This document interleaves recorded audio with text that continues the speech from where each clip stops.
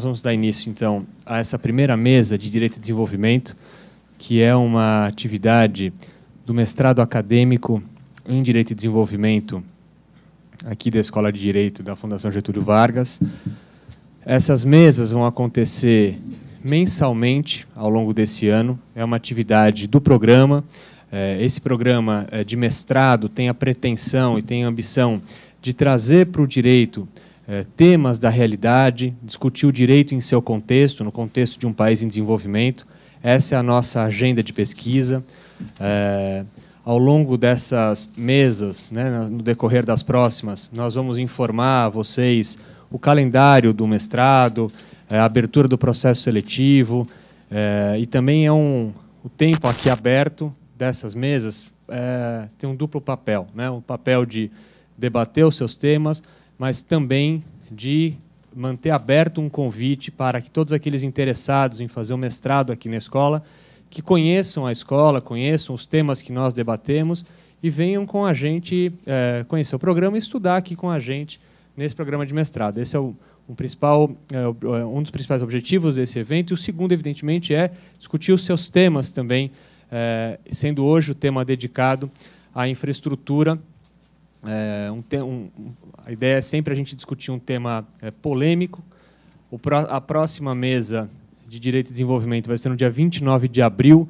O tema que a gente reservou para esse dia 29 de abril vai ser a necessidade de uma mudança constitucional. Nós convidamos para essa mesa o professor Oscar Vilhena e o professor Samuel Pessoa. Então vão ter sempre essas dinâmicas de debate é, sobre temas da conjuntura, temas que envolvam o direito como uma variável dos problemas é, do país. Para hoje, uh, a discussão vai ser pontualmente sobre a questão de direito e infraestrutura. Né? Nós tivemos, vocês viram, uh, a edição da medida provisória 703, que estende a possibilidade de acordo de leniência não só para a primeira empresa a fazer, uh, a procurar o poder público e fazer a leniência. Por trás dessa, dessa medida provisória, né, o, o contexto, o caldo de cultura, digamos, de economia política disso, é uma grave crise do setor das empreiteiras do país em função das investigações da Lava Jato, razão pela qual a Lava Jato aparece aqui também na nossa chamada. Então, a ideia é que a gente discuta, do ponto de vista do direito e da economia, eh, as implicações dessa crise e as suas possibilidades de saída, eh, tendo em particular atenção à MP 703. Para essa primeira mesa, nós chamamos eh, duas das pessoas mais uh, relevantes para esse debate. O professor Carlos Ari Sundfeld, que é o nosso professor titular de Direito Administrativo aqui da casa, e o professor Gessner Oliveira, que é professor de Economia da Escola de Administração da Fundação Getúlio Vargas, uh, e que também já foi presidente do CAD e presidente da Sabesp. Eu não vou me alongar mais, vou dizer a vocês só que uh, essa atividade está sendo gravada e que vocês podem assistir depois, evidentemente, e que também nós tivemos uma cobertura do jornal Nexo, é, que gravou com os nossos palestrantes uma modulação de entrevistas em que eles apresentam as suas posições uh, de uma maneira bastante sintética. Então, sem mais delongas, eu vou passar a palavra, seguindo aqui o protocolo de bancas, Carlos Ari, acho que eu vou convidar o, o, o professor Gessner, que é o nosso convidado uh, externo, para começar, se não houver problema. Então, obrigado, Gessner, mais uma vez. Muito obrigado, professor Mário. Para mim é uma satisfação pessoal, profissional, estar aqui na, na mesa com o professor Carlos Ari. É, eu vou fazer uma breve apresentação inicial. Peço mil desculpas pelo meu atraso. É, vou compensar o meu atraso falando mais rápido. E é, eu trouxe uma breve apresentação para tornar a exposição um pouco mais objetiva. Não sei se puder, se puder ver a projeção da apresentação que eu trouxe está ligando, né? É, mas essencialmente o que eu gostaria de que eu gostaria de falar são três pontos. É, queria chamar a atenção para o pano de fundo, como o professor Mário bem assinalou, há um pano de fundo é, desse debate que é a crise é, da política e da economia. É, e aqui é, eu vou dar alguns, algumas informações econômicas para é, é, como pano de fundo desse debate. Quer dizer, essa é uma preocupação que está por trás do debate. Então, são esses três pontos. essa crise de pano de fundo, falar um pouquinho, uh, uma rápida panorâmica de experiência internacional, de acordos, e abordar uh, os temas que estão por trás da medida provisória 703, uh, e, em particular, pensar qual é o legado que a Lava Jato nos deixa e como, como minimizar seu custo, de um lado, mas como, sobretudo, maximizar os seus benefícios que podem ser muito grandes para o futuro. Em particular, como não precisar uh, mais de lava-jato. Né? Acho que isso seria o ideal, naturalmente. Né? É, então, falar um pouquinho é, das, dos dados básicos da situação que nós nos encontramos hoje. Né? É, a, o, o, Brasil apresenta uma taxa média de crescimento é, nos últimos 25 anos que não é brilhante. Na verdade, o nosso crescimento está aquém daquele que é, chegou a ser obtido na, em grande parte do século passado. No século passado, a gente teve, é, sobretudo até os anos 70, um, um desempenho muito impressionante, né? um desempenho, entre aspas, chinês. Né? É, isso foi, foi arrefecido, é, nós tivemos uma sucessão de, de problemas. É, quando a gente pega o período é, mais recente, pega os três últimos períodos presidenciais, a, a, taxa média de crescimento aqui do Fernando Henrique é um pouco superior a 2%. É, há um período uh, melhor, que é o período Lula, com uma taxa média aqui de 4%, que, é um, que coincide também com um período de vacas gordas do ponto de vista da economia internacional e do impacto sobre o Brasil. Né? Um período de grande uh, uh, melhora dos termos de troca para o Brasil. Né? O boom de commodities tem um efeito muito forte sobre a economia brasileira uh, e, e nós, apesar é, da oscilação que tivemos aqui na grande recessão internacional, 2008-2009, nós uh, voltamos a crescer com maior intensidade aqui em 2010. Isso é lembrado como uma taxa bastante elevada, mas eu lembro que era a taxa média de crescimento no pós-guerra até os anos até meados dos anos 70, né?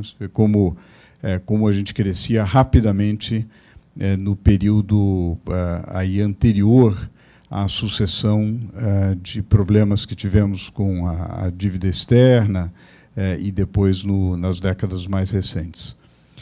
E o período Dilma realmente contrasta, né, uma, uma queda acentuada da média de crescimento. A gente deve fechar, digamos, se nós fecharmos, aqui a gente deve fechar até 2018, aqui é, com quase zero de crescimento. Né? Realmente é uma estagnação da economia e a gente tem todas as ilustrações do vocabulário da economia. Né? Uma recessão, uma taxa negativa de crescimento aqui, que foi a, o que o, o, então presidente Lula chamou de marolinha.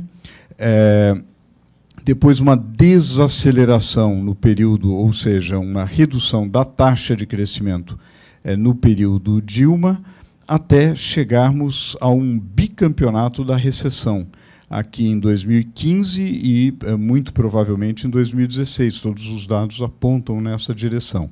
Nós tivemos uma redução de 3,8% já confirmada pelo IBGE em 2015 e eh, provavelmente teremos uma redução entre 3 e 4% este ano.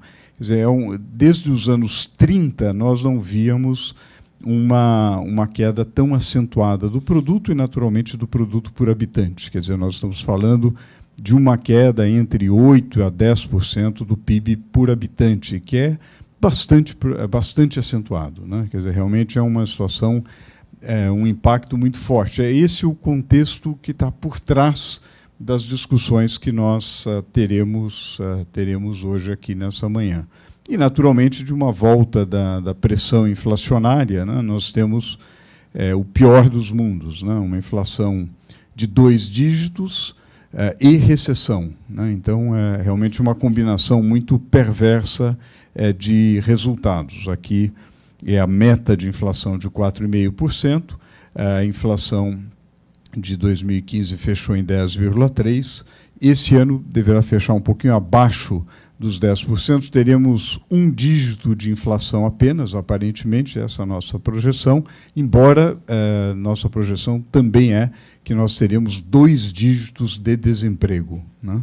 Então, que é bastante problemático, e aqui são os postos de desemprego perdidos. Isso, na verdade, é, foi uma coisa anunciada, porque realmente estava claro que o mercado de trabalho acusaria um, um forte golpe, como de fato, infelizmente, acusou é, em 2015, já em 2014, isso estava claríssimo. Né? É, e o desemprego aumentando rapidamente, quer dizer, a rapidez da elevação do desemprego pode ser percebida nessa curva verde aqui, como a gente chegou a níveis relativamente baixos em termos históricos e rapidamente uh, passamos aqui uh, para algo aqui que se aproxima de 10% em 2016, né? podendo é, esse, da, esse daqui é, é CAGED, né?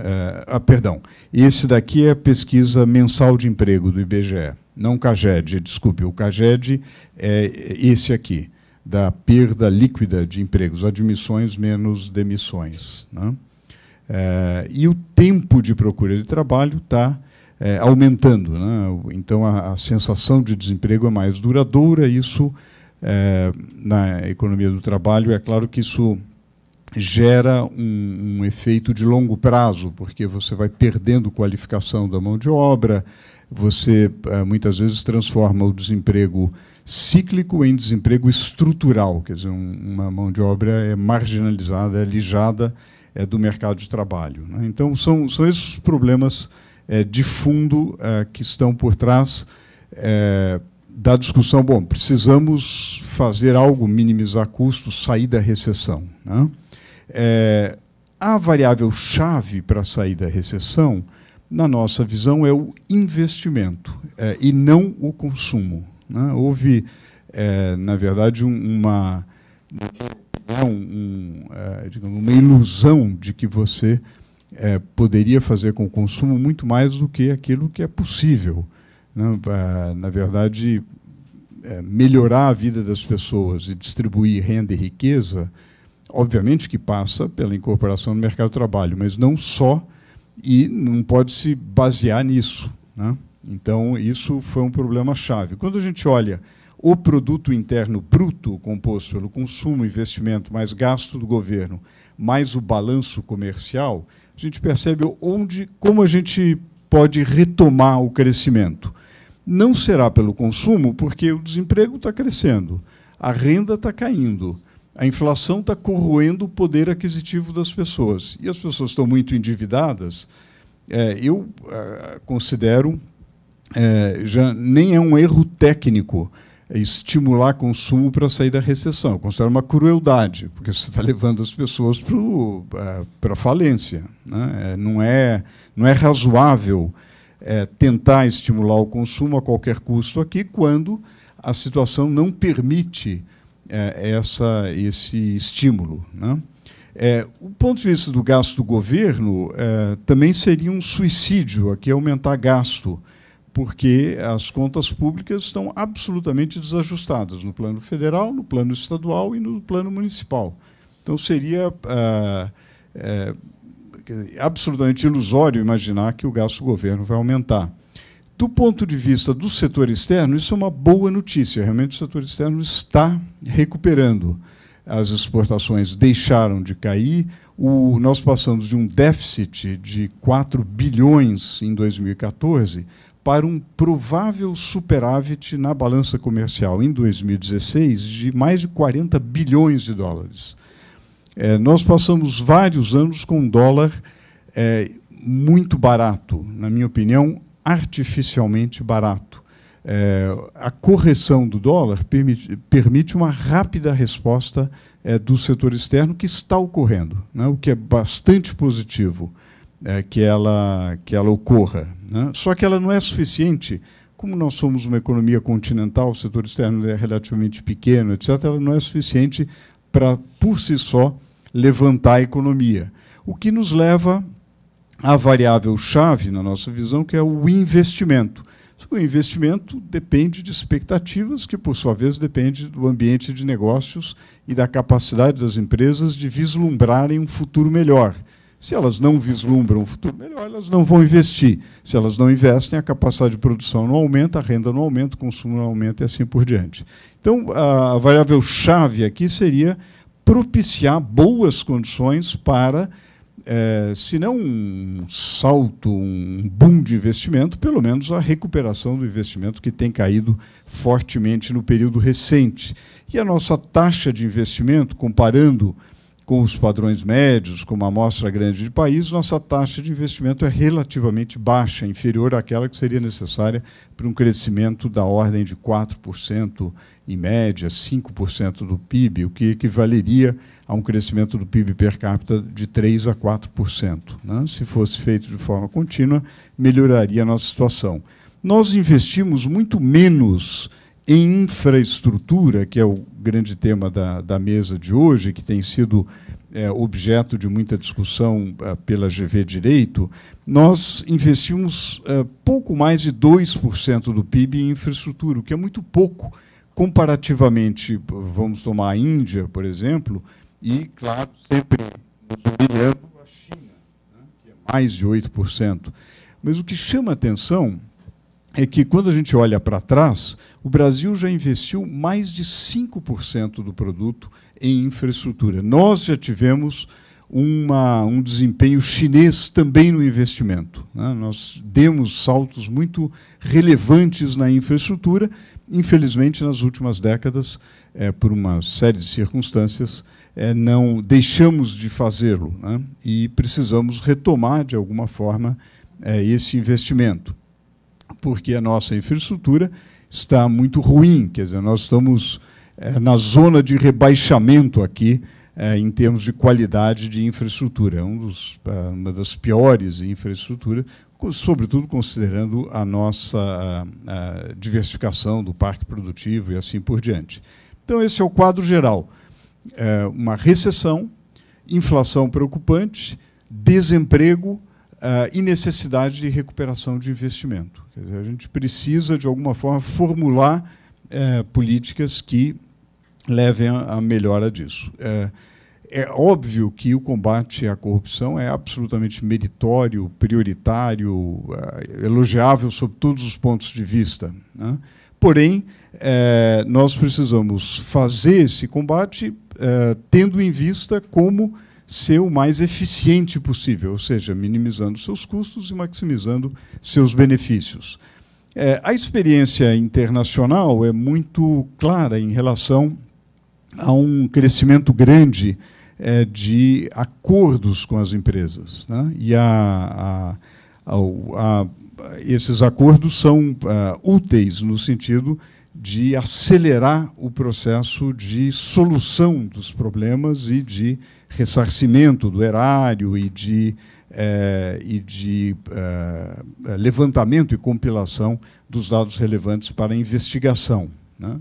Então, há uma, já há uma longa, é, não tão longa assim, mas já há uma, uma jurisprudência internacional desenvolvida, uma experiência em acordos de leniência, e principalmente no antitrust americano, esses acordos uh, foram uh, muito bem sucedidos e acabaram disseminados pelos principais órgãos antitrust. Né? Há uma grande ênfase nessa, nessa colaboração. E aqui há várias ilustrações, há várias ilustrações nesse sentido de empresas que tiveram, que tiveram problemas com corrupção, eh, e eh, selaram acordos com diferentes governos em diferentes jurisdições. Né? Aqui a gente cita eh, rapidamente o caso da BAE, da Siemens, né, que é o caso talvez o caso mais o caso mais que tenha sido mais divulgado com elevadas multas acordos em várias jurisdições né?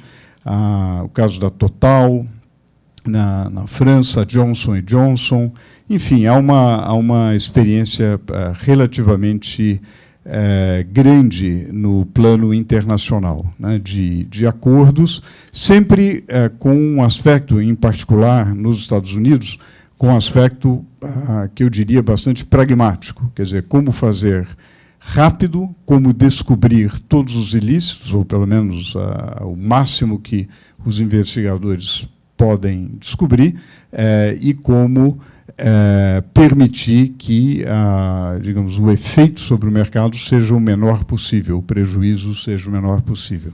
Eu acho que isso que está por trás, quando a gente pensa, e aí vou para o meu último ponto, quando a gente pensa o que, que nós queremos como legado da Lava Jato, né? o que, que nós gostaríamos que, é, é, digamos, como, que o Brasil melhorasse a partir da, da Lava Jato, né? e como como fazer isso. Primeiro, uma, algo, que, é, algo que a gente tem chamado a atenção é, é preciso reconhecer que os últimos dois anos, o episódio da Lava Jato teve um impacto é, sobre a, o desempenho da economia. Né? É, aliás, nesse ponto eu divirjo do nosso próximo e meu, meu grande amigo Samuel, uh, e nosso próximo conferencista aqui na mesa de Direito de Desenvolvimento, que diz: não, não, não tem efeito, não tem nenhum custo. Eu acho que tem.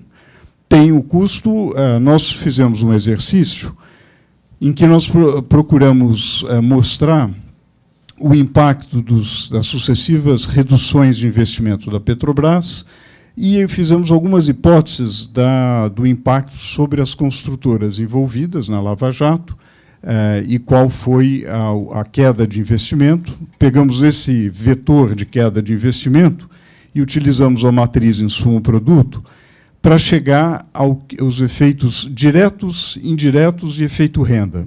Efeito direto é quando você deixa de investir, então, vamos dizer que a, a Odebrecht diminui o investimento, é um efeito direto. Ao diminuir o investimento, ela deixa de contratar outras empresas, que eventualmente podem não ter nada a ver com a Lava Jato, é um efeito indireto. É, as pessoas que oferem rendimentos dessas atividades têm sua renda reduzida, é o efeito renda. A soma desses três efeitos, é, nos vários setores da economia, utilizando a matriz insumo-produto do IBGE, nos levam algo que pode chegar a 3,6% do PIB de queda. É, é bastante grande. Algo da ordem é de 3,6 milhões de empregos, que também é bastante grande. Né? E arrecadação, massa salarial, etc. Isso significa, puxa, então a Lava Jato eh, teve um efeito negativo? Não, problema, a corrupção é o problema, a raiz do problema é a corrupção. Né? É, é, agora, a, a, o que nós discutimos é como minimizar esse custo. É claro que se a Siemens está atuando, ela faz algo ilícito, ou a Volkswagen, para pegar um caso talvez mais recente, que comete um ilícito ambiental e que afeta a saúde, etc., etc., e paga uma enorme multa, é óbvio que vai haver uma perda, tem uma perda patrimonial, os acionistas das empresas vão sentir isso, os mercados vão revelar. Bom, tudo bem. Como minimizar isso? Né? Como minimizar? Como rapidamente isolar o problema? Fala, bom, essa parte do problema precisa ser isolada, precisa haver punições, ressarcimento, etc., etc., mas como atenuar ao máximo os efeitos sobre aquela empresa, porque a Volkswagen é importante, é uma empresa importante em vários mercados, na Alemanha inclusive, e principalmente, e como permitir que uh, a empresa, saneada dos problemas e uh, com as devidas medidas preventivas para que eles não ocorram novamente, como que ela pode operar no futuro. Né? Eu acho que essa pergunta, uh, a minha percepção é que, infelizmente, nós demoramos muito para fazer no Brasil. Quer dizer, nós temos dois anos de Lava Jato e acho que ficamos patinando nessa discussão e não tivemos, talvez porque os mecanismos institucionais não tivessem devidamente desenvolvidos, a lei anticorrupção é muito recente, a sua jurisprudência é quase que inexistente, é, a descoordenação entre os órgãos é muito grande, nós não tivemos a capacidade de fazer uma coisa mais rápida com a mesma eficácia do ponto de vista de investigação, porém com efeitos mais reduzidos do ponto de vista do investimento. Então, é, talvez o investimento, ah, sobretudo das empresas privadas envolvidas, não tivesse que cair tanto quanto é, caiu. Né? Ainda que mudanças societárias seriam inevitáveis. Né? É, você pode ter as mudanças societárias, mas o importante é garantir o investimento e a capacidade de empregar pessoas e, sobretudo, de não desempregar milhares de pessoas que rigorosamente não tem nada a ver com os ilícitos que ocorreram. Né? E que, é, na prática, pagam o pato também. Né? É, então, esse, digamos, esse é o exercício que nós, é, que nós fizemos. E imaginando, assim, do, do ponto de vista muito, é muito assim, ainda muito simples, que, que quesitos nós gostaríamos para um acordo? Né? O que, que é um acordo que nos parece razoável? Bom, antes de mais nada, que a prática considerada ilícita seja cessada, né, naturalmente. É, que haja uma colaboração efetiva com a investigação, que é, é realmente essa a coisa da delação premiada é, é fascinante nesse sentido, né? quer dizer, o, o, a riqueza de detalhes é, é, vocês, por favor, me corrijam, não é, não é minha área, mas é, eu entendo que a riqueza, na área antitrust eu observo isso muito frequentemente, a riqueza de detalhes que se obtém só vem com as denúncias e com a colaboração. Né? Porque aí você pega aquele detalhezinho que pode até parecer anedótico, mas que tem um efeito devastador sobre a, a tentativa de ocultar o ilícito. Né? É, o ressarcimento dos cofres públicos e dos danos, aqui eu acho, obviamente, muito importante esse ressarcimento. É, em, casos, é, em casos de crimes ambientais, esse ressarcimento, às vezes, é até quase impossível. Né? A, quer dizer, quanto vale a, a bacia do Rio Doce? Quer dizer, aí é, são, são valores é, é, às vezes são coisas incalculáveis. Né? Dá, obviamente tem metodologias para calcular, mas digamos a gente perde coisas que infelizmente não podem ser ressarcidas. Agora, de qualquer maneira, se a gente comparar aquilo que a gente obtém de volta e aquilo que a gente perde em emprego e produção, infelizmente é incomparável. Quer dizer, eu tinha mostrado um número anterior aqui, Estou é, falando em 284 bilhões de reais, quer dizer, o impacto. Né? É um impacto muito forte, decorrente é, de efeitos, na verdade, intersetoriais, de efeitos multiplicadores. Né? É, se, é, a, se você afeta as expectativas de investimento, é, o que aconteceu no Brasil foi, uh, usando a expressão em inglês, um credit crunch, é, contra o setor de construção. Na verdade, o, o, todos os comitês é, de financiamento bancário, é, na verdade, se é, se é uma empreiteira, mesmo que não tenha nada a ver com a Lava Jato, o crédito ficou mais difícil. Quer dizer, o custo de crédito elevou imediatamente. Quer dizer, o impacto foi brutal. Né? É, o meu ponto é que este impacto não precisa ser tão forte. Ele vai, vai haver mas dá para dar uma soprada. Assim, não, não, precisa haver uma absoluta contração do crédito para todas as empresas. Porque, por que, que tem a contração do crédito? Quero ver, bom, não vai ter contratação de obra pública no futuro, é, não, não, é, essa empresa é, vai tem recebimentos de empresas que estão envolvidas, etc. Não vou dar crédito, pronto. E, e, há, e há um efeito manada também, ninguém dá crédito é, para empresas que, por, por alguma razão, possam ter é, relação com uma investigação. Então, é muito importante, do ponto de vista é, aqui dos, dos, operadores do direito, dos formuladores leg de legislação, das autoridades, é muito importante rapidamente delimitar o problema, para que os custos não sejam, que já são grandes, não sejam muito maiores do que eles precisam ser né? é, para que não haja é, um efeito sobre a sociedade muito mais drástico. Né? É, e, naturalmente, e daí vem a, a, a re, o restabelecimento das condições de operação e investimento da, das empresas. Né? E, em particular, é, aqui nesse quarto ponto, é muito importante que, é, que haja um restabelecimento das condições de concorrência. Porque se eu, uh, se eu falo, bom, é, como houve algumas reações, houve algumas idas e vindas, o que também é ruim, né? mas houve idas e vindas no sentido de, bom, não tem, é, todos os contratos estão é, suspensos, é, vão ser revistos, é, essas empresas estão impedidas de participar em qualquer licitação pública, etc. Você pode até imaginar, e está previsto na, na Lei 2.549, que é a Lei de Defesa da Concorrência, está previsto, por exemplo, no caso de um cartel, é, uma das punições, e, em geral, que você não participe de licitações públicas. É importante que haja punições duras para que a esperança matemática de um ilícito é, antitrust seja negativa. Né? Isso é importante. Porém, em determinadas circunstâncias, talvez você não queira usar esta punição, porque se você vai impedir uma série de empresas importantes que têm qualificação para participar de licitações públicas, significa que você vai reduzir o já reduzido leque de empresas que podem oferecer esses serviços. Consequentemente, você vai diminuir a concorrência eh, e, portanto, aumentar os custos e os preços para o setor público. É um tiro no pé. Né? Então, eh, é preciso formatar a pena de forma a atingir o seu objetivo, que é um, um caráter eh, natura, eh, naturalmente para impedir e prevenir o ilícito, porém, não de uma forma que você vá acabar prejudicando o mercado e o setor público.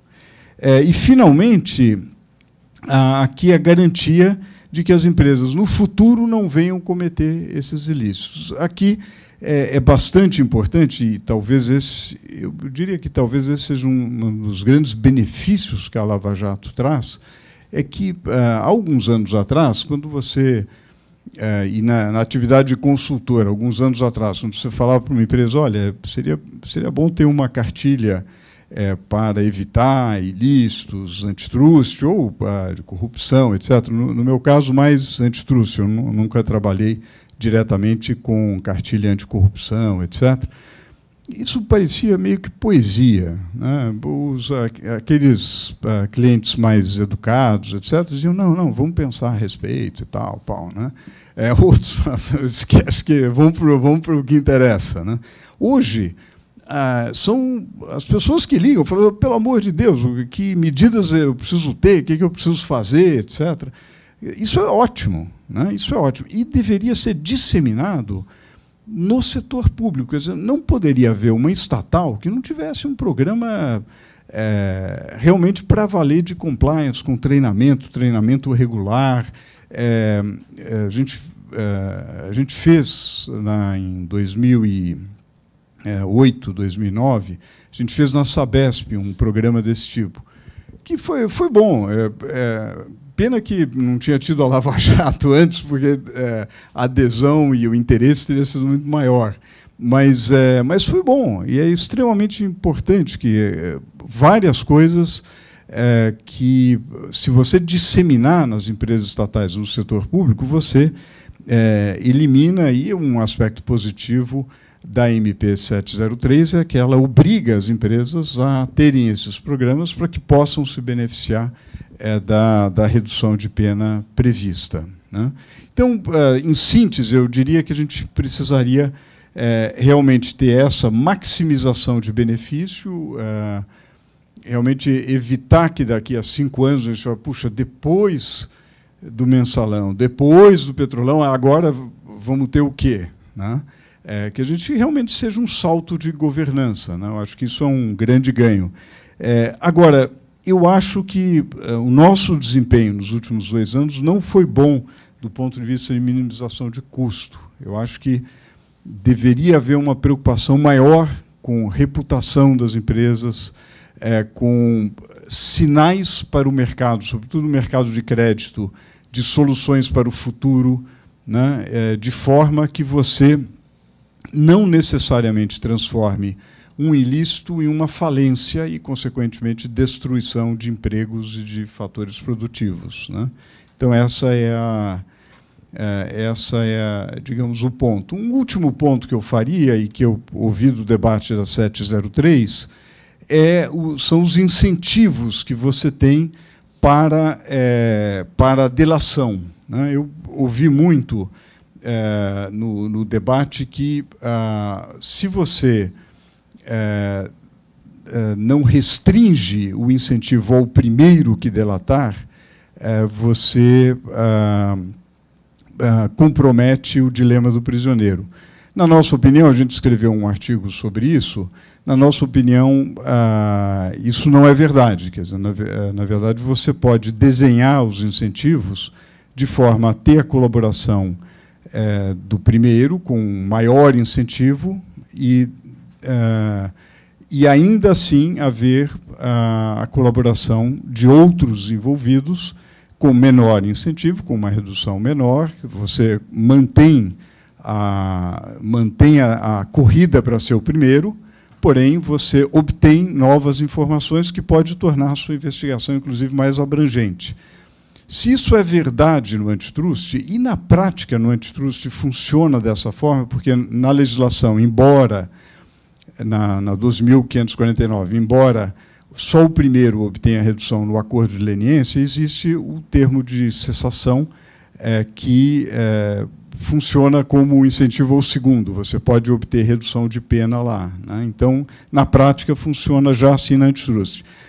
Para a corrupção, e aqui um palpite de um tecnocrata, economista, etc., me parece que é, a natureza da investigação da corrupção Inclusive, é, como ela não necessariamente envolve tanto conluio, tanta coordenação, quer dizer, ela, ela tem menos o aspecto do acordo dos comparsas, que estão em celas diferentes, né?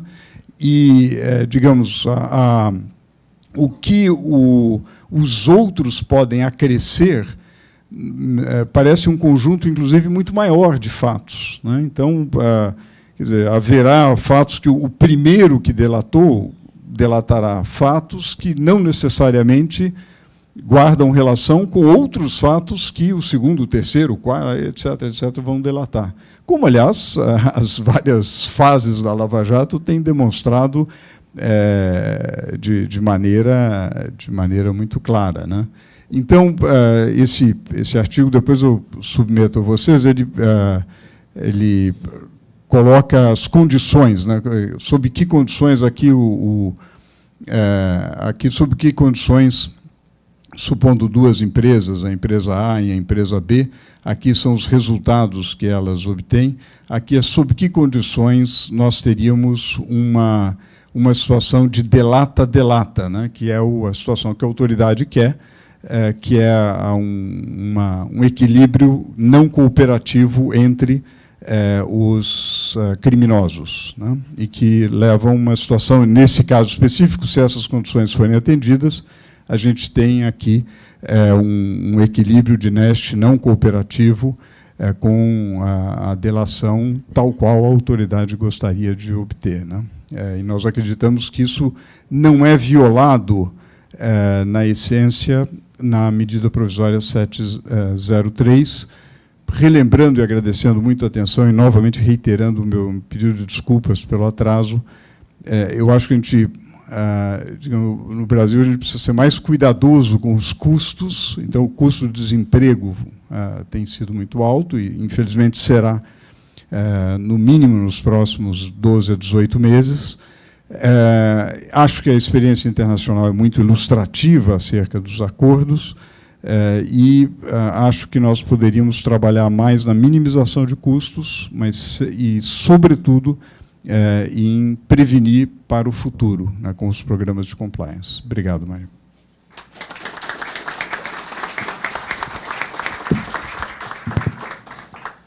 Obrigado, professor. É, passar a palavra ao professor Carlos Ari. Bom, bom dia a todos. Bom dia, Gessner. Bom dia, bom dia Mário. Bom dia, meus colegas Luciana Gross e Mariana Pargendler. São, somos todos colegas do Programa de Mestrado em Direito e Desenvolvimento. Estamos, então, tentando apanhar, com a colaboração do nosso colega professor Gessner, esse tema que é um tema é, fundamental e que provoca é, bastante polêmica. A exposição do professor Gessner facilita muito o nosso debate sobre a solução da medida provisória, porque ele já colocou os pressupostos sobre os quais estamos, respeito dos quais estamos todos de acordo. Né? Só introduzir alguma informação jurídica para que nós possamos, então, discutir um pouco qual é a solução que a medida provisória trouxe e se ela é, de fato, uma solução. Qual é a questão que a medida provisória eh, tenta enfrentar? É um problema criado pelas características da nossa legislação sobre punição de infrações praticadas em contratos públicos, em contratos administrativos. Nós temos muitas normas a respeito de contratação, são normas de licitação, são muitas leis, que têm regras sobre sanção. A principal delas é a famosa Lei 8666, de 93, que prevê lá no seu final algumas sanções aplicáveis àqueles que cometam infrações graves. Uma das sanções é a inidoneidade, declaração de inidoneidade, que proíbe a empresa punida de contratar com a administração pública até que ela seja é, readmitida no mercado público. E há também uma pena menos grave, que é a de suspensão do direito de licitar. Também se prevê multa, embora não esteja estabelecido qual é o valor. Isso é remetido para os regulamentos ou os contratos. Isso é mais ou menos o resumo da Lei é, 8666 do ponto de vista das é, sanções aplicáveis. Quem aplica? A administração pública. Então, é uma aplicação administrativa de sanção, é sanção administrativa por processo administrativo. A par disso, nós temos a lei da improbidade. A lei da improbidade é por uma responsabilização judicial dos mesmos fatos isso aí, irregularidades cometidas em é, contratos públicos. E as sanções aplicáveis são várias. Uma delas é a proibição de contratar com o poder público. Então, é decisão judicial. O maior ator, o autor da ação de improbidade é, é sempre o Ministério Público. É? E há uma lista de sanções aplicáveis. Na técnica que o Ministério Público tem adotado, ele propõe a aplicação de todas as sanções, e o juiz, depois, no final de um debate um pouco confuso, porque é muito difícil fazer um debate racional quando uma parte pede a aplicação de todas as sanções, né? o juiz tenta modular isto. Claro que a sanção é, mais grave é a proibição do direito de é, contratar com a administração pública para aquelas empresas que vivem de contratar com a administração pública, ou exclusivamente, que são muitas, grande parte do mercado público, é atendido por empresas que apenas contrato o poder público, muito marginalmente contrato com o setor privado. É, mas há empresas hoje grandes, importantes, inclusive algumas envolvidas na Lava Jato, que trabalham significativamente no mercado privado, no entanto, sua participação, a participação no seu faturamento no mercado público é muito intensa. Então, claro que essa sanção de proibição de contratar com o poder público é muito grave, mesmo para essas empresas que têm uma atuação é, menor. A diferença entre a responsabilização administrativa e a responsabilização judicial ela está basicamente no fato de que os efeitos da sanção de proibição de contratar na ação de improbidade só vão ocorrer depois de transitar em julgado a sentença. O que faz com que a consequência de uma eventual infração que se comece a investigar demore muito tempo, muito tempo. Na esfera administrativa é diferente. O processo administrativo pode terminar muito rapidamente, a não ser que no curso do processo administrativo, o é, investigado consiga suspender o processo administrativo por meio de ações judiciais, o que não tem sido comum. De modo que o grande risco imediato que as empresas é, envolvidas na, na Operação Lava Jato, por exemplo, é, temem né, é a aplicação da sanção pela administração pública, essa sanção de proibição de contratar. Na ação de improbidade, além desta sanção de proibição de contratar, também se aplica a multa. A multa é aplicável, a lei prevê multa, assim como na Lei 866 também. E além da, destas duas coisas, que são sanções no sentido mais estrito, a lei da improbidade permite que o juiz condene a empresa punida a ressarcir os danos. Porque uma coisa é condenar é, a uma multa, é uma punição, outra coisa é ressarcir os prejuízos. Então, são coisas diferentes. A potencialidade da ação de improbidade é maior no longo prazo, porque ela pode envolver não só a proibição de, de contratar, e a multa, mas também a responsabilização no próprio processo, coisa que a administração pública, no simples processo administrativo, não consegue fazer. Bem, além disso, existe a possibilidade do Tribunal de Contas examinar a legalidade das condutas das empresas que contratam com o poder público e aplicar sanções. Uma das sanções mais importantes é a proibição de contratar com a administração pública. O Tribunal de Contas tem uma competência autônoma, portanto, será uma responsabilização, vamos chamar aqui por um neologismo, uma responsabilização de contas. Então, nós temos uma responsabilização administrativa, uma responsabilização eh, judicial e uma responsabilização de conta. Em quaisquer desses campos é possível haver aplicação da sanção de proibição de contratar. No âmbito da Corte de Contas, também se aplicam é, multas e também se vem discutindo a questão da responsabilidade, embora seja certo que o Tribunal de Contas, apesar do nome tribunal, é, não tem poder judicial, não pode condenar a responsabilização, mas ele, é, muitas vezes, exige que a administração pública cobre do contratado uma indenização por algo que é o valor do prejuízo que ele, Tribunal de Contas, considera ter ocorrido.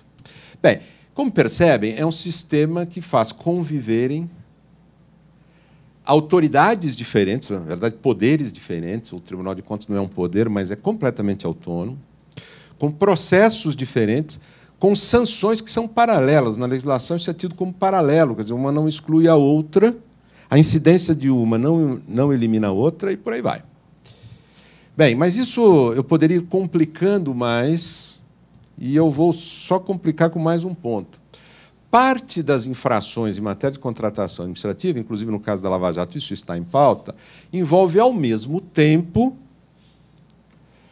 infração à legislação da concorrência. E aí suscita-se a competência eh, das autoridades antitruste, inclusive do CAD, que tem a possibilidade de aplicar sanções bastante graves que vão mais ou menos na mesma linha, embora, evidentemente, ele não possa condenar, não tem um, um poder de condenar a responsabilização, mas tem, é, enfim, a possibilidade de aplicar multa, sanção grave, e é, o CAD tem exercido com um certo, uma certa criatividade os poderes que a legislação lhe dá para reagir contra a, as infrações por medidas, digamos, corretivas bastante intensas, tem se tornado mais agudo nos últimos tempos. Então, nós temos a convivência, portanto, naquilo que é talvez a infração mais comum nas contratações públicas, eh, e muitas delas que estão aqui sob investigação, nós temos eh, a concorrência de quatro autoridades, quatro sistemas diferentes, podendo levar todas elas a sanções complexas.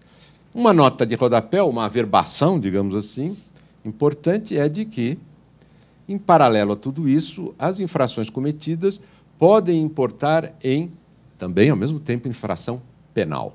E aí suscita-se a competência eh, da justiça penal, que, obviamente, não é uma justiça exercida em relação às empresas, mas sobre eh, as pessoas físicas envolvidas, mas que acaba envolvendo uma investigação a respeito do comportamento das empresas. Né? Então, este é o complexo muito sintetizado dos sistemas existentes para punir. Qual é o problema que isso pode é, gerar?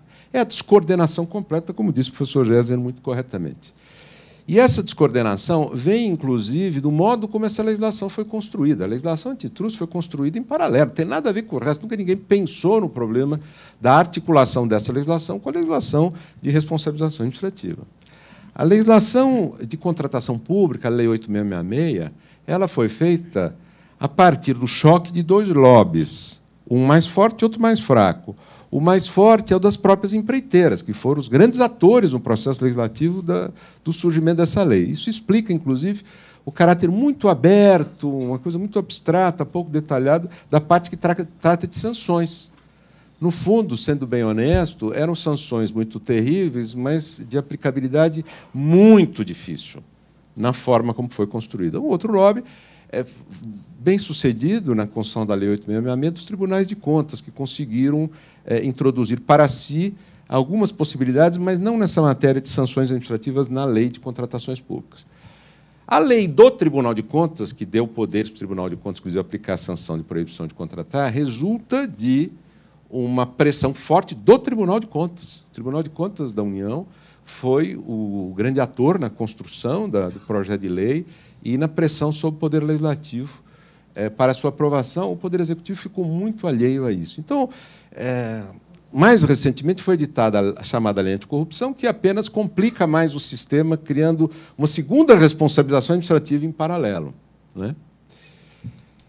E este caso da legislação então anticorrupção, quer dizer, uma, um sistema de responsabilização administrativa em paralelo, acabou surgindo por lobbies, sobretudo da Controladoria Geral da União, que buscava aumentar a sua possibilidade de é, punir ou, ou investigar, fazer processos e punir infrações na esfera administrativa, sobretudo federal. Então, nós temos uma legislação que foi feita a partir de impulsos dos interessados, ou órgãos de controle diferentes, ou as próprias empresas eh, interessadas no mercado, e, obviamente, o problema da coordenação passou muitíssimo longe. A lei anticorrupção surgiu recentemente, e além de criar mais um, um, um conjunto de normas para definir infrações e prever novamente sanções, que são as mesmas que eu já re relatei, as sanções administrativas da lei anticorrupção são parecidas. Né?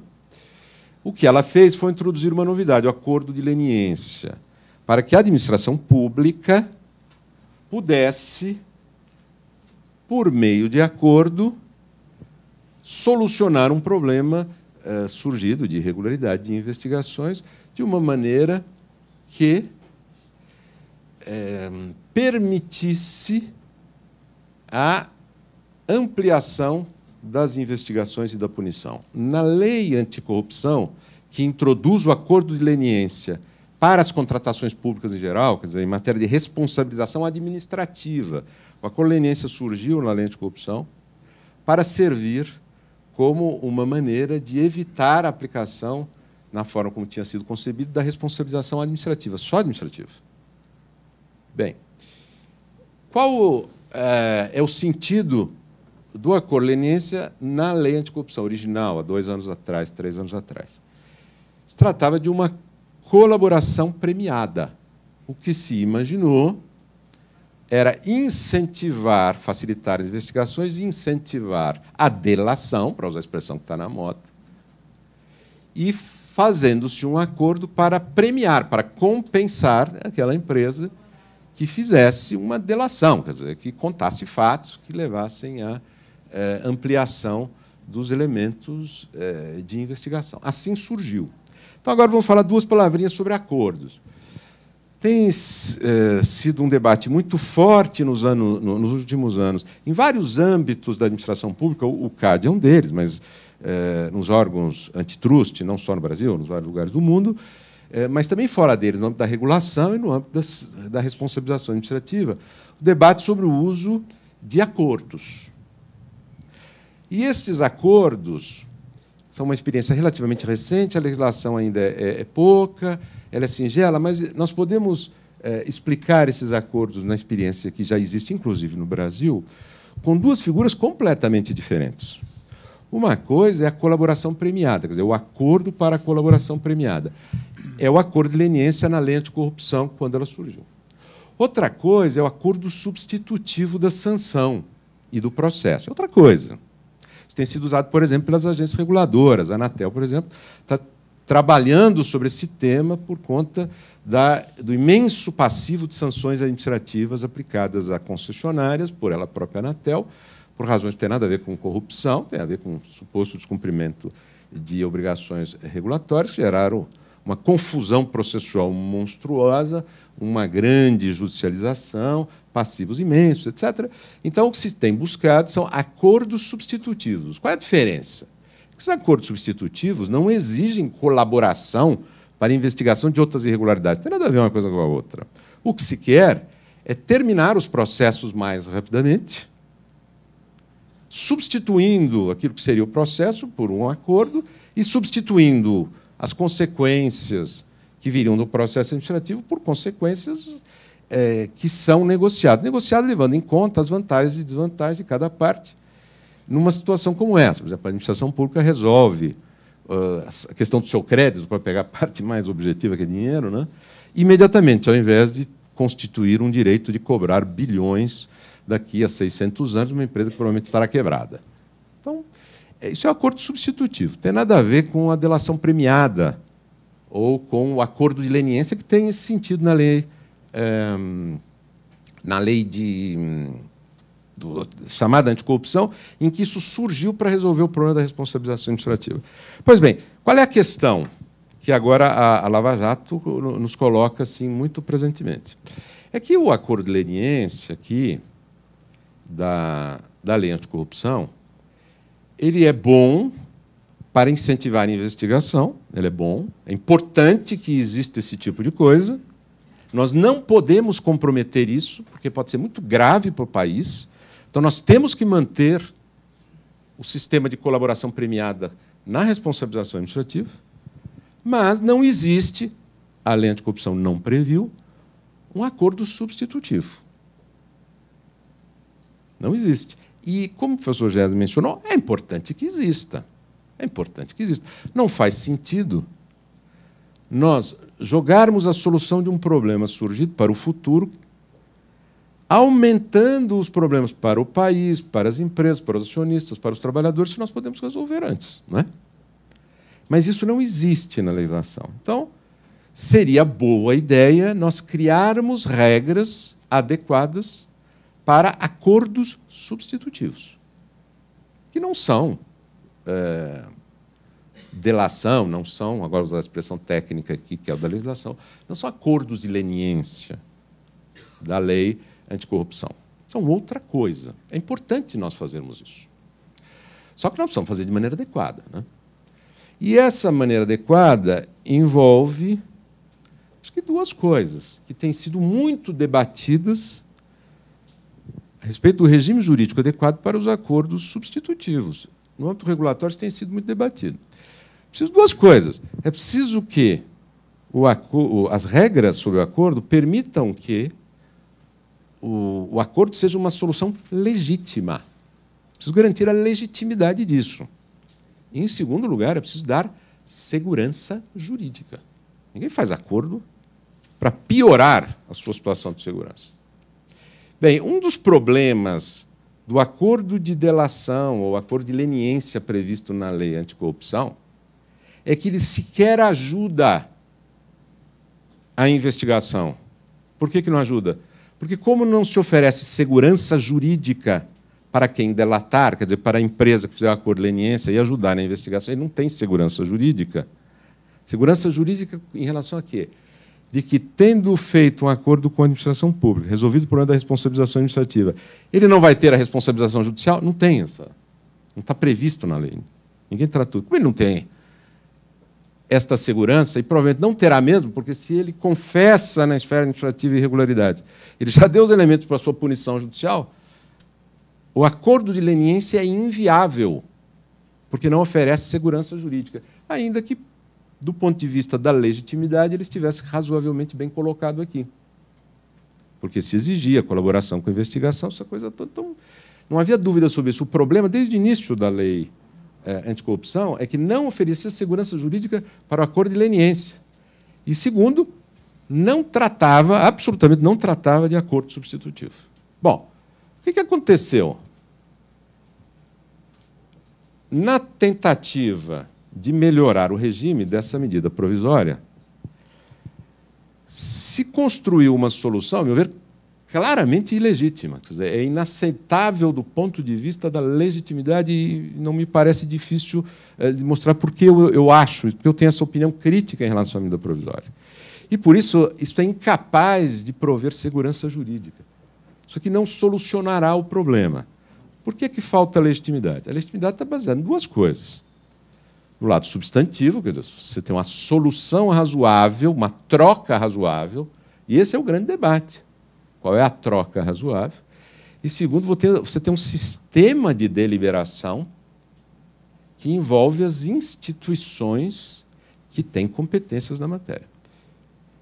E aqui é um problema complexo, porque nós temos que coordenar Tribunal de Contas, CAD, Ministério Público, Poder Judiciário e Administração Pública, certo? São as instituições envolvidas. O que a medida provisória procurou fazer? para sintetizar, dar um bypass geral, atribuir à administração pública o poder de fazer um acordo, que na verdade é um acordo substitutivo, dando um bypass em todas as outras instituições. Para sintetizar, depois podemos ver os detalhes. Mas este é o resumo. Para facilitar. E a justificativa é que é muito difícil coordenar toda essa gente, pode existir resistência excessiva, indevida. Por exemplo, o Ministério Público andou participando das negociações com a CGU, é, com várias das empresas que propuseram acordos, e muitas acusações feitas contra o Ministério Público estavam sendo intransigente. O Ministério Público dizia bem pela transigência do lado de lá, quer dizer, vocês não querem colaborar, na verdade. E aí é uma dúvida sobre quem tá, tem razão, não tem razão, mas que mostra a dificuldade de fazer esse tipo de coordenação. Não é simples, não é realmente simples, é complexo. Mas a lei não procura criar um sistema para superar os impasses, simplesmente faz um bypass se prevê que o CAD pode colaborar, ele não é obrigado a participar. E o acordo é vinculativo para isso. Justamente o CAD, que é o órgão mais autônomo, aquele que é mais isento, mais confiável, ele é colocado de lado. Ele pode colaborar, mas a sua participação não é obrigatória. Então, vejamos que é algo é, complexo do ponto de vista da legitimidade. O Tribunal de Contas ele não participa, ele é comunicado ao final e ele pode simplesmente discutir o valor da indenização mas não a troca que foi feita da sanção de proibição de contratar por é, uma, uma multa. Não lhe cabe discutir. É isso que está sendo a medida provisória. É óbvio que o Tribunal de Contas reagiu violentamente contra. E a medida provisória, embora tenha uma certa ambiguidade, prevê a possibilidade do Ministério Público participar, mas não a exige, e prevê que, feito o acordo, a sanção de proibição de contratar não é mais aplicável, não se aplica mais a ela, o que permite a interpretação de que não é aplicável sequer na esfera judicial. Então, se o Ministério Público não participa, processos para responsabilização judicial podem existir, mas a medida provisória foi escrita de tal modo que eh, a interpretação mais razoável, a meu ver, é de que, eh, feito o acordo, o processo judicial pode continuar, mas não para aplicar a sanção de proibição de contratar. Por exemplo, uma ação de improbidade continuaria para ver a questão da responsabilização, eh, mas não eh, poderia levar essa sanção. Então, é bypass. Isto não é uma solução institucionalmente legítima para uma questão complexa como essa. Do ponto de vista, para terminar aqui, professor Mário, é, para terminar aqui, a outra dificuldade é que, do ponto de vista substantivo, quer dizer, a troca, ela é, é uma troca simplória demais para dizer o mínimo. Veja lá o que diz a medida provisória. O acordo isentará a empresa da sanção de proibição de contratar. Não existe outra hipótese. Não existe acordo para diminuir, para mitigar a sanção de proibição de contratar. Isentará. O acordo só se faz isentando. Isto não faz sentido. É preciso dar às autoridades a possibilidade de mitigar, mas não é possível que a lei seja mudada para prever que qualquer acordo isenta. É óbvio que isto foi feito para proteger as autoridades administrativas, eu entendo, porque elas não têm que justificar a isenção, ela é automática, e é difícil justificar, sobretudo quando existe conflito institucional, quer dizer, foi para tornar mais fácil a decisão das autoridades administrativas, mas isso compromete a questão da legitimidade substancial. Não faz sentido. Por que razão a empresa deve ser isentada. Eventualmente, deve haver uma mitigação. Segundo ponto, se a questão é de acordo substitutivo, quer dizer, vamos tentar resolver mais rápido para que não se destrua valor, etc. e tal, não faz sentido isentar e aplicar só a multa no limite da lei anticorrupção, que foi isso que a, medida provisória estabeleceu. Ora, a multa é uma das sanções aplicáveis, já existe. Limita-se o valor da multa à da lei anticorrupção, tira-se as outras multas aplicáveis em função das outras leis, quer dizer, diminui o valor da multa potencialmente aplicável. E não se exige compensação nenhuma pela isenção da proibição de contratar. É de uma isso é um exagero, é uma coisa. É óbvio que o Ministério Público ia reagir. É solução ilegítima, isso não, não, não dá para sustentar uma coisa desse. Claro que, em algum caso excepcional, é possível que seja uma solução adequada. Mas isso é uma solução exagerada, não pode gerar segurança jurídica uma coisa desse tipo. E mais, para terminar agora é, totalmente.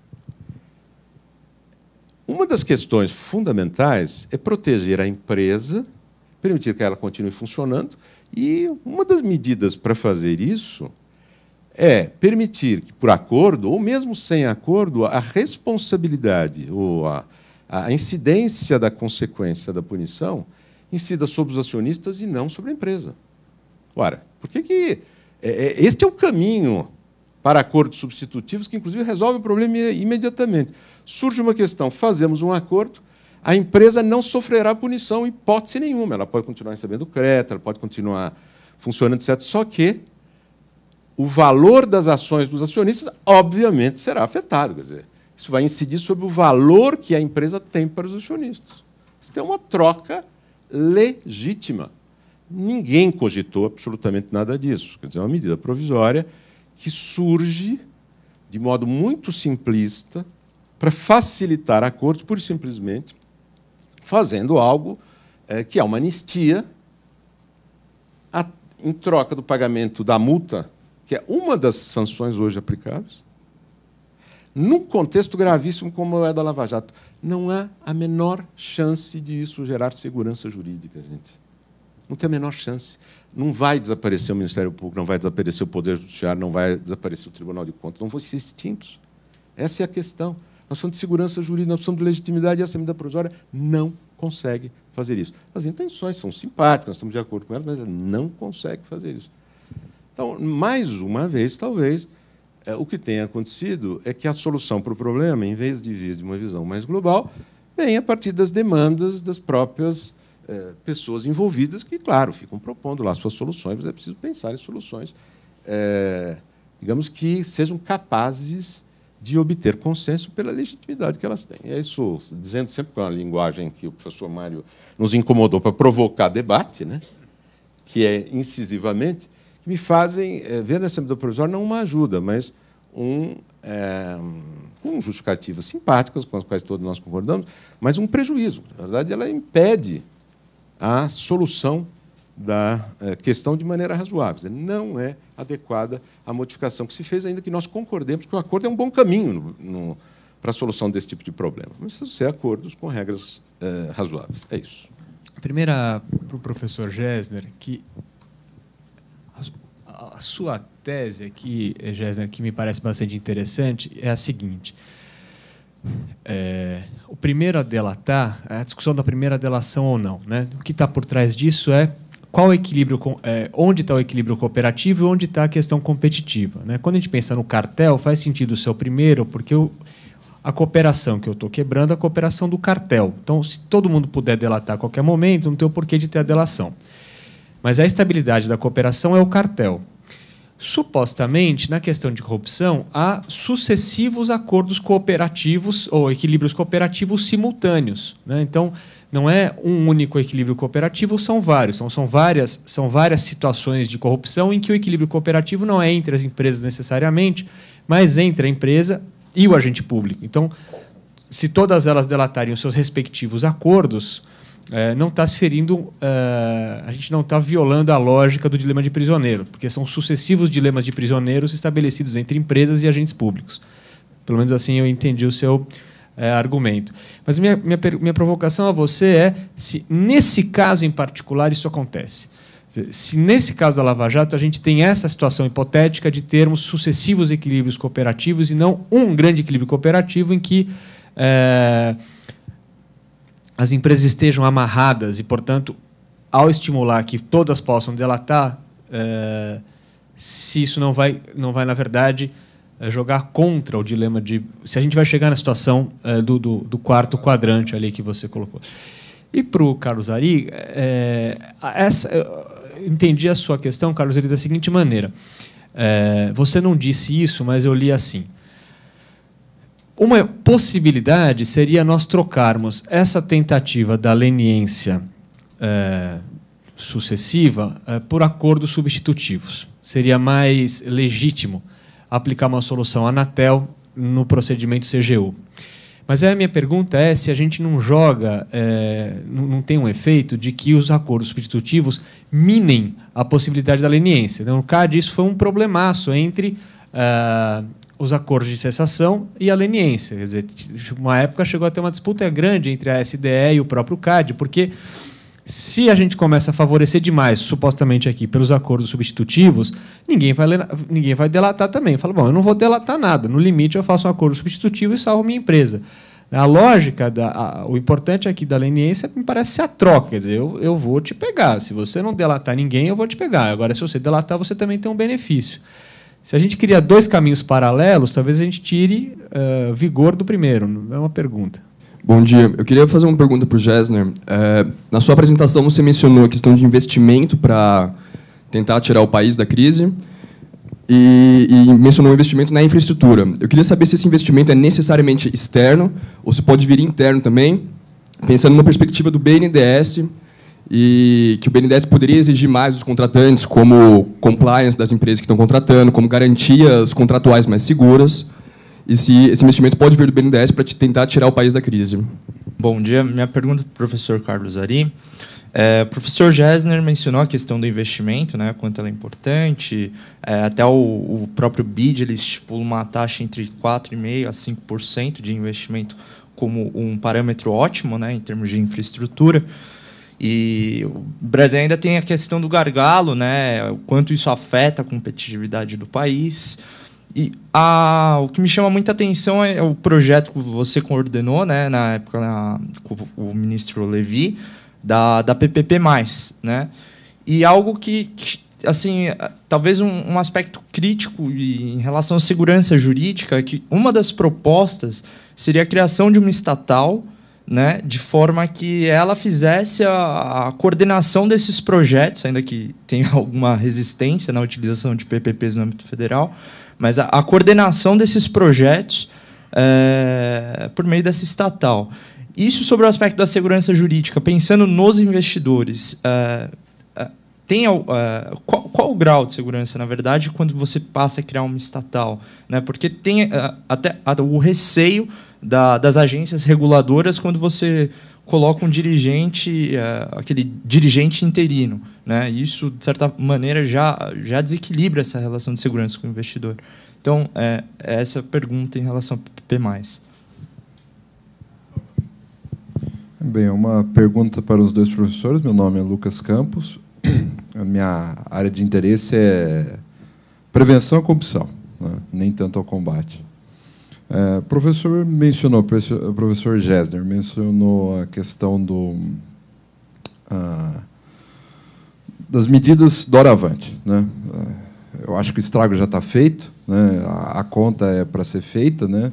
mais ou menos o, o que acontece no caso de Mariana. Né? Vamos analisar quanto custa isso e quanto nós vamos atribuir de conta para cada qual. Bem, é, o Brasil não faz a sua tarefa, mas os estrangeiros o fazem. Né? O Banco Mundial recentemente já veio com uma ordem que todos os contratos que fossem celebrados no Brasil, mais especificamente o governo do Estado de São Paulo, de que em todos os contratos que viessem a ser celebrados com a intenção de financiamento pelo Banco Mundial, exigisse ou trouxesse a exigência no, já no edital de medidas de compliance. Ponto. Tá? É, é um jogo que nós não dominamos. Né? Eu gostaria que o professor uh, Gessner tratasse sobre isso, já lançando isso como um custo, né? porque isso já, já, tá, já pode ser considerado como um custo para futuras contratações que pretendem ter financiamento ou, de alguma maneira, buscar a bancabilidade de entes internacionais. Tá? Eu acho que não há mais escolha. Uh, não é uma questão de escolha. Professor Carlos Ari, é interessante abordagem do senhor com relação aos diversos aspectos né, que uh, um determinado, uma determinada conduta deita na realidade jurídica. Né? Então, ela, as consequências são, são diversas.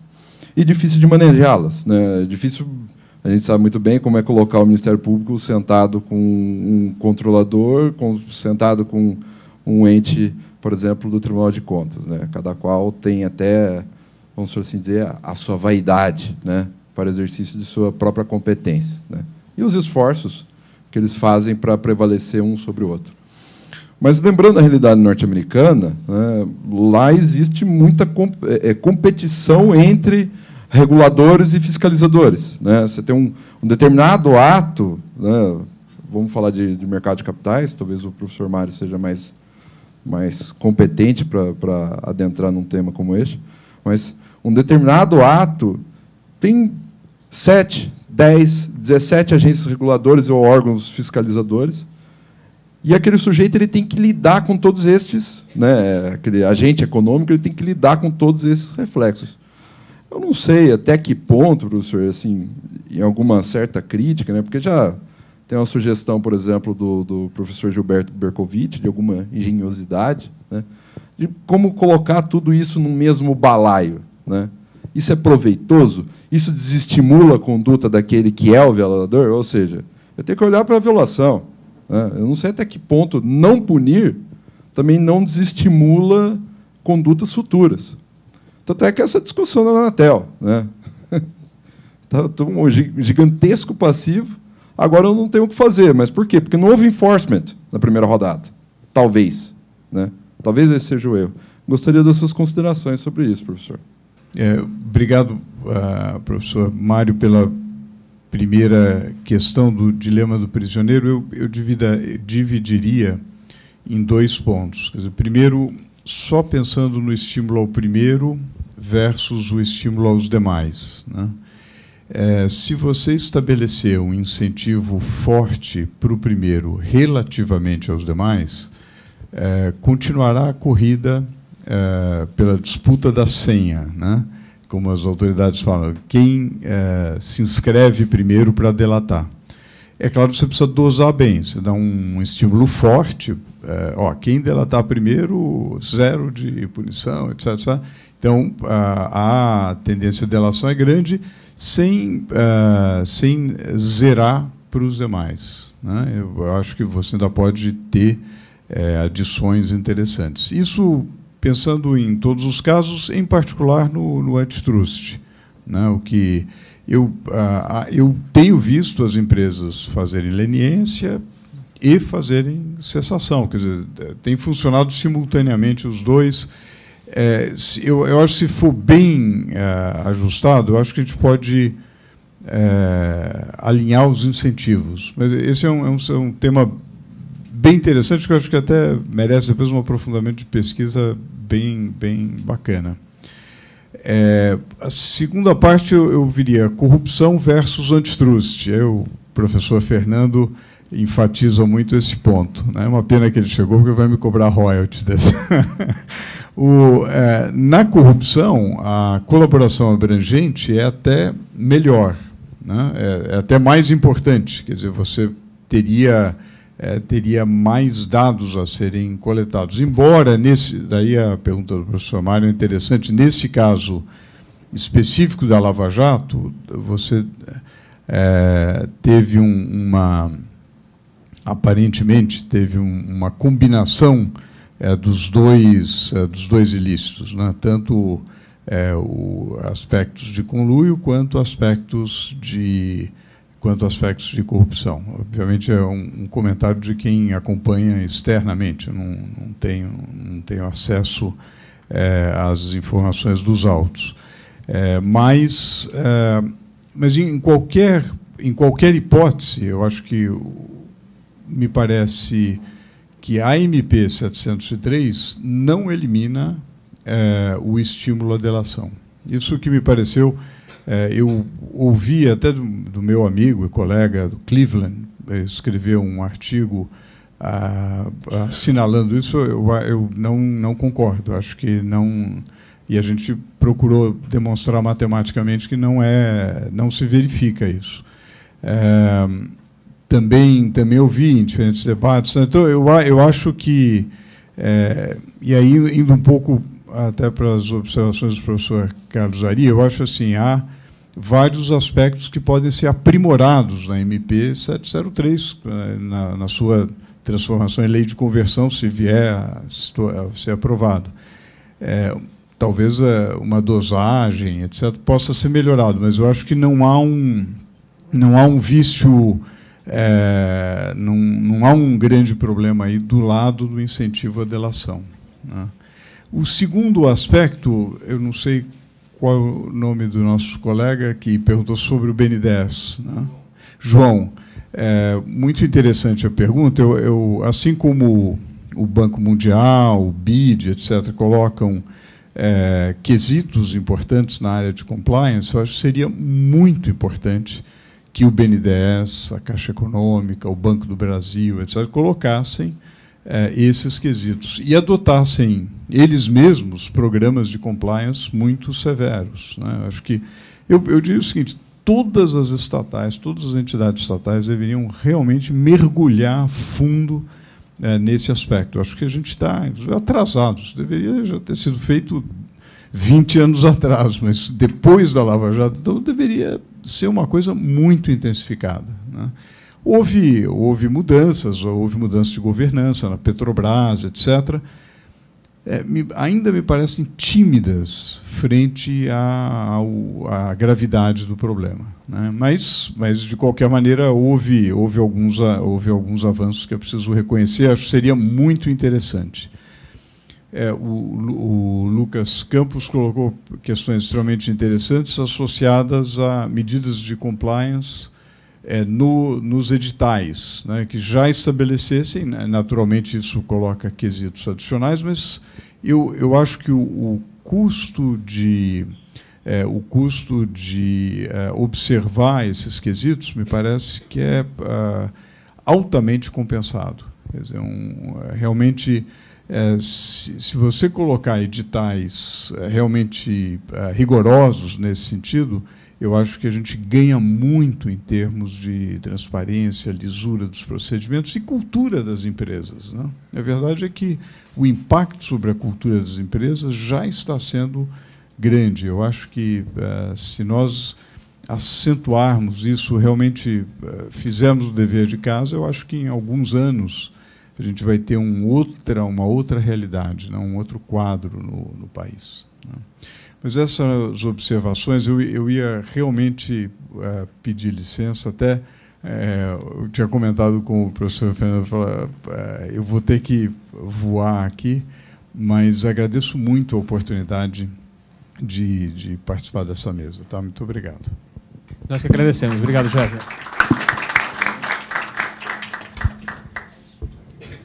Começar pela provocação interessante do Lucas. Não punir pode ser incentivo à violação futura. É verdade, e é por isso que todo o regime, seja de acordo de leniência, seja de acordo substitutivo, ele tem que ser modulado para evitar que haja aí um incentivo à é, infração. Dizer, não, é, não, não é possível deixar barato esse, esta solução de deixar barato sob a justificativa de que punir é um mal maior, ela tem um custo no longo prazo é, muito, muito, muito grande. E isso ocorre, talvez não pelo ângulo da punição, mas é, no setor financeiro, né, por conta daquela história de ficar socorrendo instituição que corre muito risco, só por conta do risco de, de quebra geral do sistema. E o que se procurou fazer na legislação do sistema financeiro foi dar autoridade administrativa poderes de intervenção muito fortes para evitar o risco sistêmico, mas fazendo então intervenção na, na, na entidade, a liquidação extrajudicial, a separação de ativos bons, de ativos ruins, quer dizer, medidas de intervenção extremamente fortes para impedir que é, uma medida de salvação geral do mercado acabasse se transformando num ganho indevido do acionista. Isso não, realmente não pode ocorrer. Então, é claro que na construção de eh, uma legislação a respeito de acordos, este elemento é vital. Portanto, é uma construção sofisticada, é, que precisa encontrar o equilíbrio entre esses pontos. Outra provocação uh, do Lucas é a respeito da questão da competição entre reguladores, como ele descreveu a coisa, que é competição entre autoridades. Né?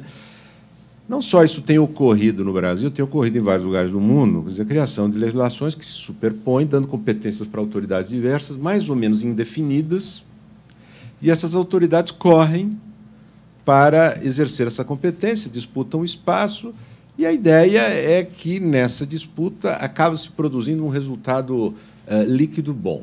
Bom, isso é uma experiência que vem resultando muito ruim em muitas situações. Eu preciso dizer isso. Então, se discute, por exemplo, muito na, na União Europeia, o problema da acumulação de sanções. Não é um problema só aqui, na matéria de contratação administrativa.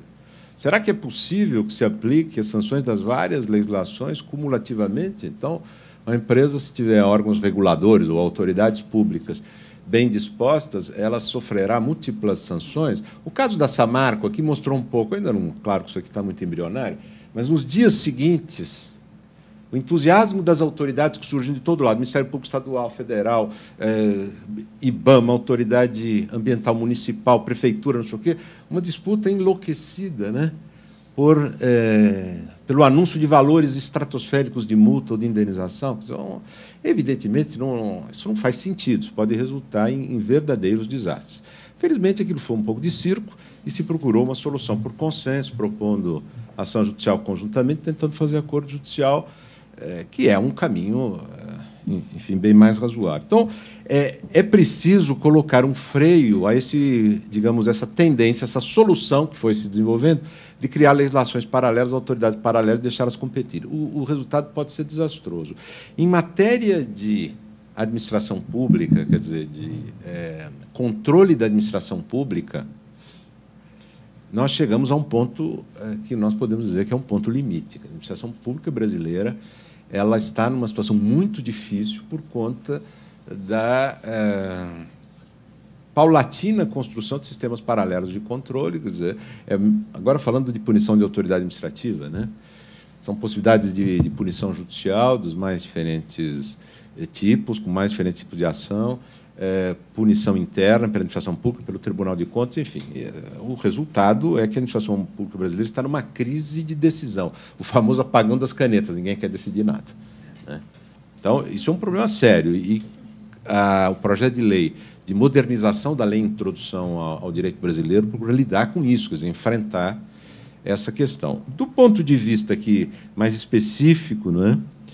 das eh, autoridades que têm poder para investigação e sanção em matéria de contratação administrativa, é preciso, é preciso, e o caso Lava Jato mostra isso, mas não é o único, é preciso que nós construamos soluções de coordenação. Mas é difícil construir essa solução. Quer dizer, qual é a maneira razoável de fazer? Como é operacional? Uma das coisas que nós podemos estudar, eu não, não, não fiz o projeto ainda, ainda, esse ainda foi meio eu não fiz o projeto e nem tenciono fazê-lo, mas é, uma hipótese razoável é nós nos inspirarmos na recuperação judicial. O que é o problema da recuperação judicial? Nós temos uma competição entre credores e essa competição pode destruir a empresa. E aí se criou um mecanismo de proteção da empresa contra a competição de credores. Né? Mas, evidentemente, com a participação do Poder Judiciário e do Ministério Público que participa do processo de recuperação judicial e dos credores. Hum, ninguém imaginou fazer a recuperação judicial uma coisa diferente disso. Né? Pois bem, nós temos que aplicar essa, nós podemos né, aplicar esta mesma lógica ao caso de competição entre autoridades punitivas. Nós podemos instaurar uma espécie de concordata, vai recuperando a expressão antiga, né? É uma concordata anticorrupção, digamos, em casos de sanção administrativa. Isso é para paralisar uma avalanche de processos que leva a empresa à insolvência e que acabe inviabilizando até a, a, a ação entre as, as, autoridades administrativas e eh, administrativas, é, do Tribunal de Contas, etc., e as várias autoridades judiciais, concentrando a solução de um problema num processo, no caso da concordata, da recuperação judicial, que tem características muito particulares. O juiz ele não exerce uma função jurisdicional típica. Ele é uma espécie de é, mediador, mistura de mediador com juiz, quer dizer, algo bastante complexo. Essa experiência nós podemos aplicar aqui. Então, é uma das coisas que se pode construir para enfrentar o problema da coordenação. Não que deva ser sempre assim, mas ele deve, assim como o problema das dívidas não se resolve com a recuperação judicial sempre, né? Mas nós temos que trabalhar nesta linha. Né? E também na linha, agora chega ao ponto que o professor Mário eh, mencionou, e também na linha de construir eh, uma legislação equilibrada que não faça com que uma caminho do acordo substitutivo destrua a delação, o acordo de leniência. Não é possível isso. E que foi, afinal de contas, o que fez, a, a, a meu ver, a medida provisória. Quer dizer, ela permitiu que a administração pública fizesse, com o nome de acordo leniência, coisas que são acordos substitutivos, tornou, inclusive, muito mais fácil para a autoridade administrativa fazer isto, e, portanto, retirou os incentivos para um verdadeiro acordo de leniência, dizer, para uma delação. E, é natural que o Ministério Público queria se opor a isso. Dizer, é, é, evidente, há um risco muito sério nisso. Não, eu não posso deixar de fazer essa observação. O modo como a, a proposta de modificação da lei surgiu, é, no momento em que surgiu, das mãos de quem surgiu, justamente do governo federal, que está sendo, cujas autoridades máximas estão sendo investigadas por suposta participação nas irregularidades, é evidente que geraria ainda mais suspeita. Mas não, não, nem seria preciso isso. O conteúdo da, da, medida mostra uma despreocupação em relação a essa é, questão do equilíbrio. E é fundamental ter equilíbrio. Mas me parece que nós temos que ter os dois instrumentos.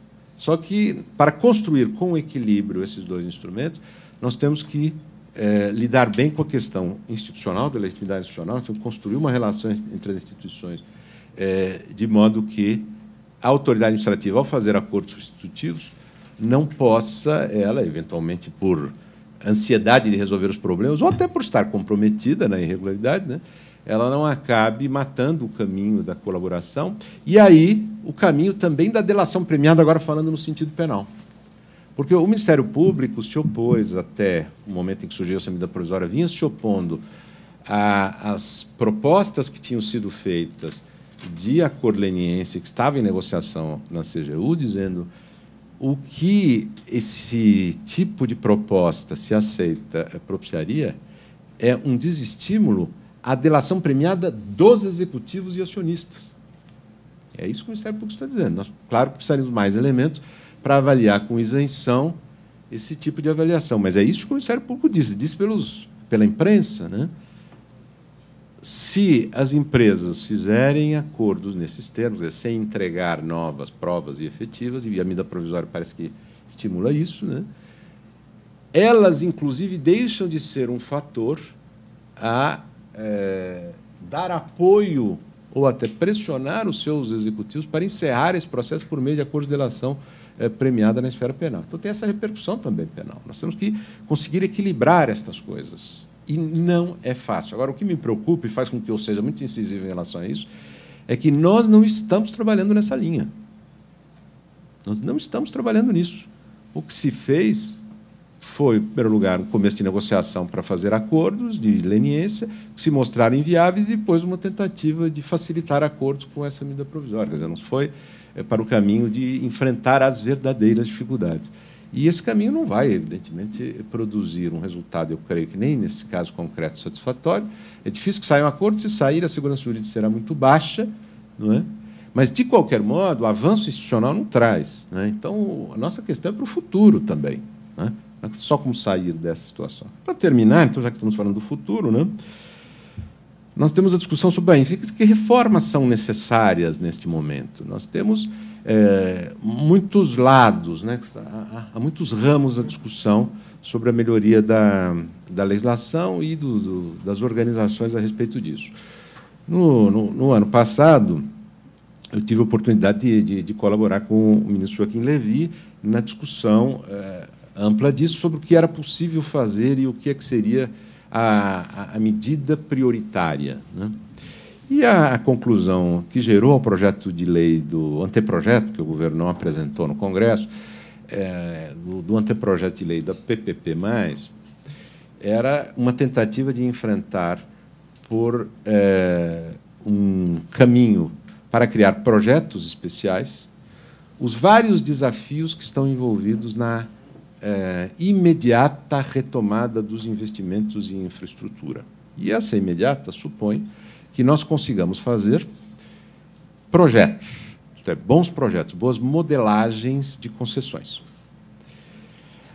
A tal empresa estatal, que foi tão criticada, até editorial do Globo contra a proposta da empresa estatal, sem que eles tenham visto, visto o projeto, que eu não consigo entender como é que se pode criticar é, sem saber para que serve a empresa proposta, né? mas a, a proposta da, do anteprojeto da lei de PPP+, de criar uma empresa estatal, não é para que ela coordene as, as concessões, nem nada disso.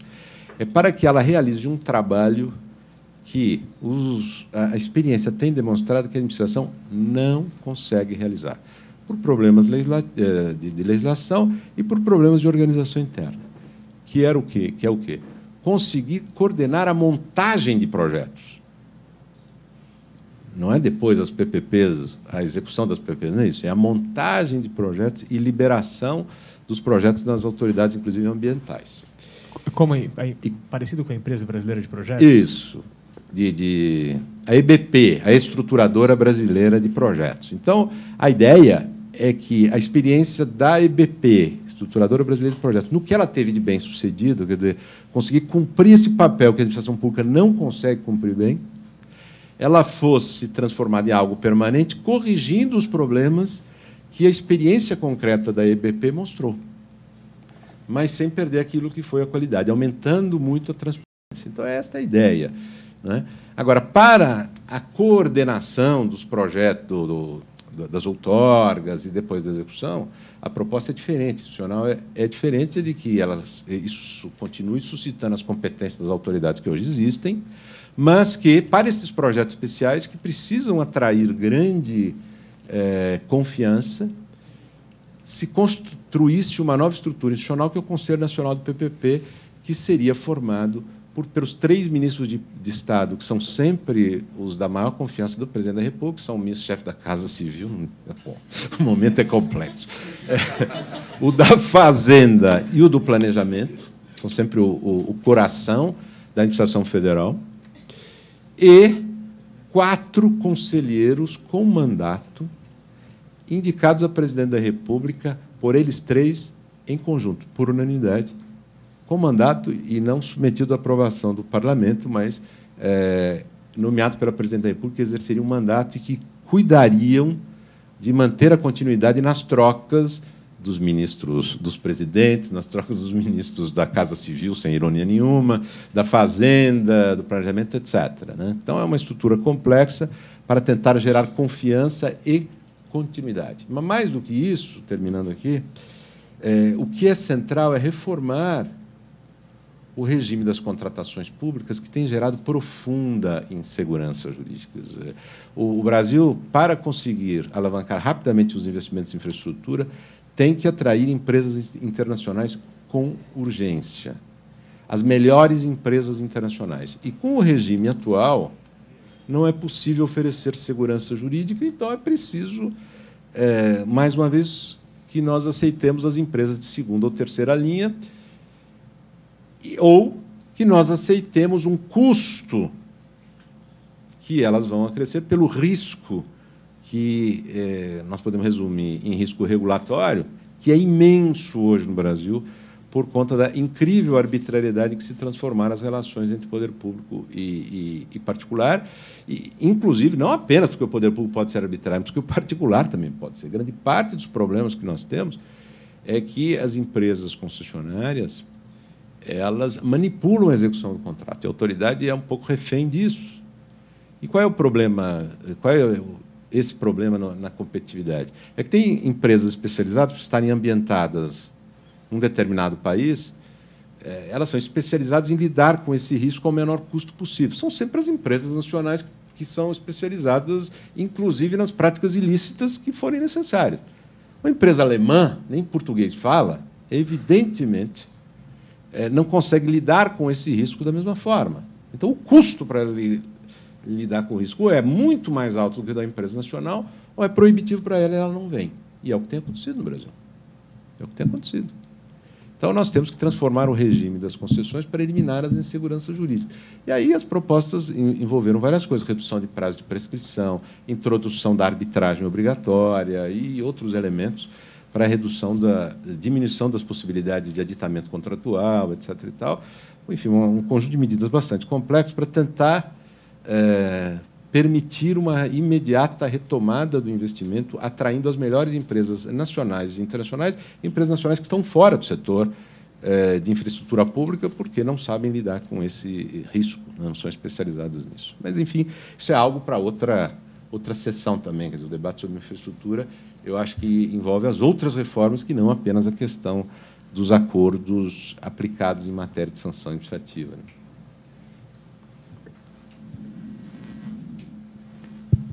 Bom, eu, eu pelo já está da hora, eu preciso encerrar. Eu queria agradecer a participação do professor Carlos Ari Sundfeld. É...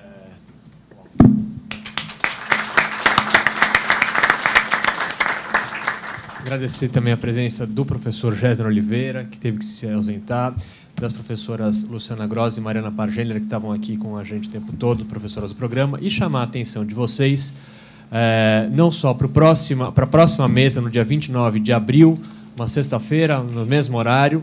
É, dessa vez, um debate sobre a Constituição. Tem um, um, debate grande hoje no Brasil circulando se a Constituição ainda é, é, é sustentável. Né? Tem um, uma posição do Samuel Pessoa, de outros economistas, é de avaliar que os custos da social-democracia brasileira estão excessivos, versus uma discussão sobre os direitos e as necessidades inclusivas que permanecem importantes para o país. Então, é um debate hoje relevante para o país e chamar a atenção de vocês para a nossa página do programa de mestrado em Direito de Desenvolvimento no nosso site.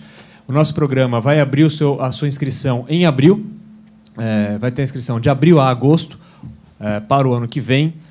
Consiste em uma prova de conhecimentos a partir de, um, de uma literatura que a gente vai pré-estabelecer e uma prova de línguas e depois um exame de projeto de pesquisa. O programa é, concede bolsas a todos os alunos que tiverem dedicação integral, portanto, o programa é de graça, não tem custos. O programa, os alunos têm alguns deles aqui, vocês podem conversar com eles. É, eu sou suspeito para falar, mas eu tenho certeza que é um programa de excelência acadêmica. Então, até a próxima, um abraço, obrigado.